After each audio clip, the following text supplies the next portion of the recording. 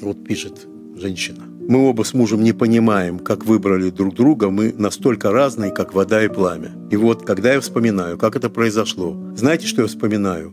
Что я не за глаза его выбрала, никакого с первого взгляда у нас не было.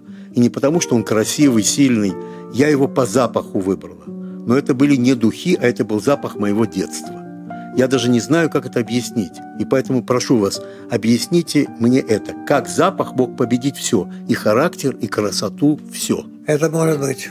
Потому что запах – это очень такое природное ощущение, которое настолько притягивает человека и привязывает, что он из этого уйти далеко не может. Почему запах детства оказывается вот таким решающим фактором? Ну, потому что детство, оно оставляет у нас э, приятное впечатление. Навсегда?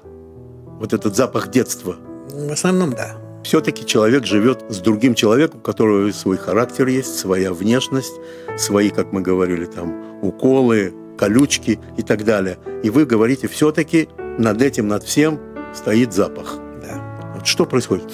Я вдыхаю, это что-то такое в носу, я не знаю, или в сердце. Ты вмещаешь в себя частичку другого. Это не сделать... Э, никак. Никак, кроме запаха. То есть вот эта вот часть у нас...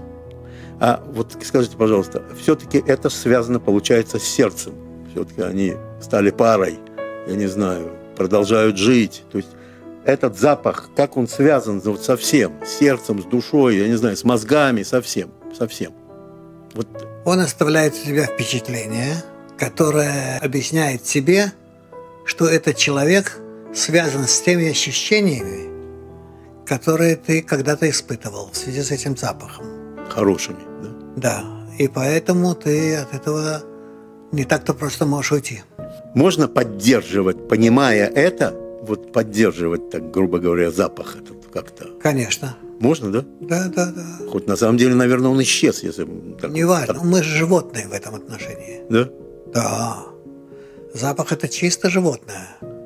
А вот как, интересно, вот как поддерживается этот запах? Если он исчез уже, все уже как бы, ну, уже нет этого запаха, а все равно... Он в тебе. Он во мне. Решимот. Записи.